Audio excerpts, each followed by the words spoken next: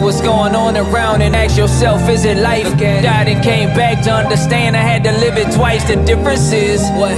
Now I see it through a different lens. The ending is What is it? really where your beginning lives.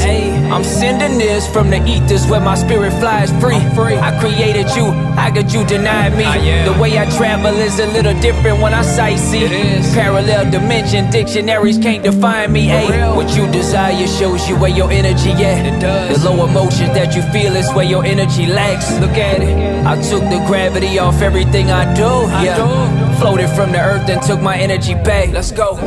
The search for self got NASA travel into space. Crazy. The truth is funny When? when it's laughing in your face. Hey, eh? they say a life's a tragic thing to waste. It is. I give mine freely with these actions that I take. Love. Different patterns and equations climb the ladder in a matrix.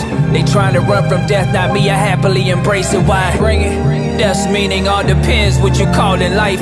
Gave my all and tried, search hard and tried to walk with God. When I stopped searching, when I realized He walks with I, the outward salvation that the church teaches all a lie. It's all inside, It hidden by desires of the flesh. Look at it. Mine died. Now finally I can rest. Ayy.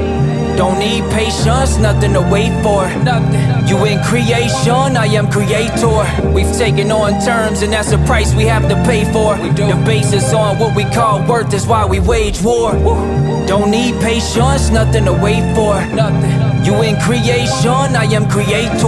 What's mine is yours. If you need it, take it, I can make more. Take it. My life savings is with the Savior.